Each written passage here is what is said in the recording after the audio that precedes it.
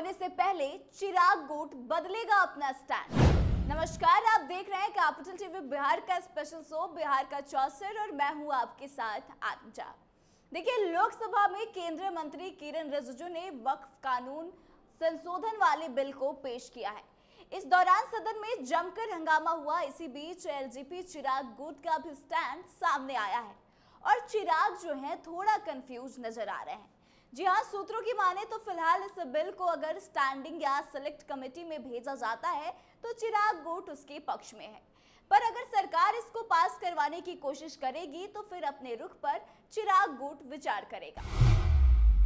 दरअसल लोकसभा में 8 अगस्त को केंद्रीय मंत्री किरण रिजिजू ने वक्फ कानून में संशोधन वाले बिल को पेश किया।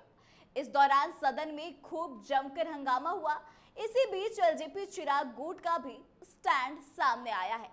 एलजेपी चिराग गुट के उच्च सूत्रों के अनुसार फ़िलहाल वह इस बिल को अगर स्टैंडिंग या सिलेक्ट कमेटी में भेजते हैं तो उसके पक्ष में है।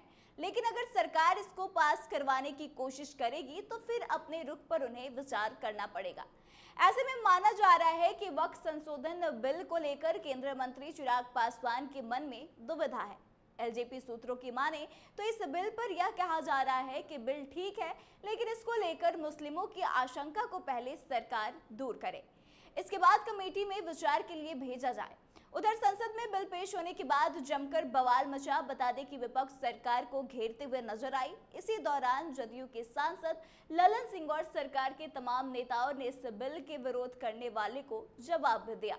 जदयू सांसद और केंद्रीय मंत्री ललन सिंह ने इसका समर्थन करते हुए विपक्ष को फटकार भी लगाई। वहीं दूसरी तरफ़ राजद ने इस बिल को लेकर सवाल खड़े किए। राजद सांसद मिशा भारती का कहना है कि सरकार कहती कुछ और है और करती कुछ और है। सरकार की कथनी और करनी में फ़र्क है। उन्होंने साफ़ हम लोग इसका विरोध करेंगे। यह भी कहा कि वक्फ बोर्ड बिल में क्या क्या चीज़ें हैं, क्या सरकार जो कह रही है, उसमें वो सब शामिल हैं या नहीं यह सदन में बिल आने पर देखेंगे। साफ़ है कि चिराग पासवान भले ही एनडीए में हो, लेकिन कई मामलों पर उनका फैसला एनडीए से अलग होता है और वह खुलकर अपनी आवाज़ उठाते हैं। चाहे वह उत्तर प्रदेश वाला मामला हो या फिर अब वक्फ कानून। इसको लेकर भी चिराग का स्टैंड अभी तक क्लियर नहीं हो पाया है। चिराग ने साफ़ साफ़ चिराग के गुट के जो लोग हैं, उनका साफ़ कहना है कि अगर सरकार इसे डायरेक्ट पास कराना चाहेगी इस बिल को तो उस पर वो अपना स्टैंड बदलेंगे।